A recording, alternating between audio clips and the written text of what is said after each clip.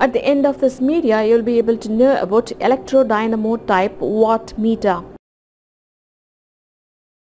Construction This instrument consists of fixed coil, moving coil, pointer and measuring scale.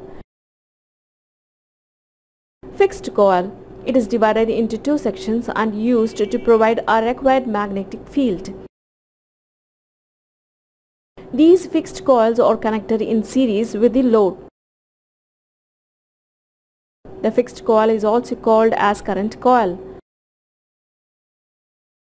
Moving coil. This coil is made up of fine wire and it has many numbers of turns. The moving coil is connected across the supply voltage. It is also called pressure coil or voltage coil. A high resistance resistor is connected in series with the moving coil. The purpose of this resistor is to limit the current in the moving coil. This coil is mounted on the shaft. This shaft is carried by ball bearings. The movable coil can rotate inside the fixed coils. Pointer. It is a small needle connected with the movable coil. This needle rotates over the measuring scale.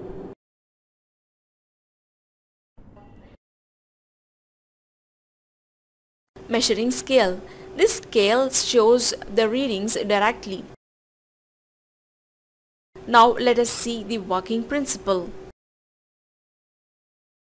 When the supply is given to the circuit, the line current passes through the fixed coils and the supply voltage given to the moving coil produces a current. These two coils produce magnetic fields. The magnetic field produced by the fixed coil is directly proportional to the load current. The magnetic field produced by the moving coil is directly proportional to the voltage. Due to the interaction between these two magnetic fields, a deflecting torque is produced on the moving coil. Hence, the moving coil rotates along the pointer.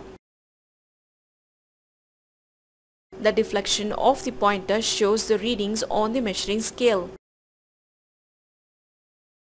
Hence, the deflection is directly proportional to the power supplied to the load. You have learned about construction and working principle of electrodynamo type watt meter.